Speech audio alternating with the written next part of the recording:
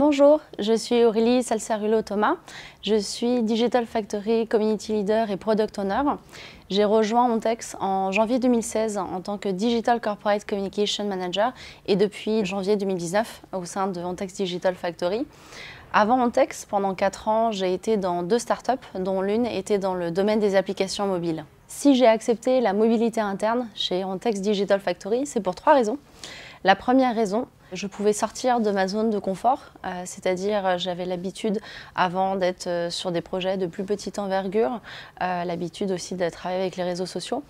La deuxième raison, c'est également que je pouvais renforcer ma compétence technique sur le produit justement digital dont j'allais avoir la responsabilité. Et surtout, pour ne pas oublier, j'avais vraiment l'opportunité de pouvoir tout créer de A à Z, c'est-à-dire construire tout de zéro. Le rôle d'un product owner chez Ontex Digital Factory, c'est que c'est quelqu'un qui va coordonner la réalisation de projets digitaux, qui va également s'assurer de la bonne réalisation de la roadmap. Tout simplement, on part d'un besoin utilisateur que l'on aura identifié avec les équipes euh, business, puis que l'on va retranscrire aux différentes équipes, qui soient graphistes ou techniques. Ensuite, on va devoir définir les spécifications fonctionnelles, le backlog, participer aux phases de développement et de test, dit recettage.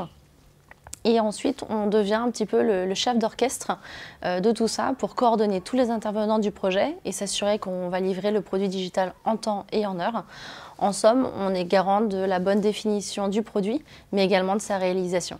Les qualités que l'on recherche chez un product owner sont de comprendre la technicité du produit dont il va avoir la responsabilité, de toujours rester à l'affût des tendances et des, nouvelles technologies pour justement faire en sorte d'améliorer le produit de manière continue, d'avoir un esprit doueur, c'est-à-dire de prendre l'initiative, chercher des solutions, être proactif et surtout euh, sans oublier l'utilisateur final, c'est-à-dire euh, de ne pas hésiter à aller sur le terrain, euh, se mettre à la place de l'utilisateur.